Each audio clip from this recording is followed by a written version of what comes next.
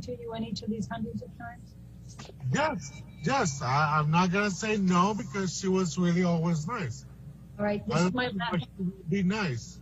all right, this is my last question. You testified in response to Mr. Presidio's questions um, that you testified truthfully in all of these occasions. Did you testify truthfully, truthfully to everything that you testified in response to my questions today? That's correct. Uh, All right. I, I did.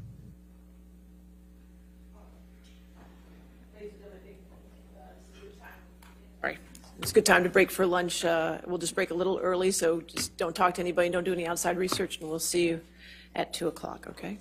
Thank you.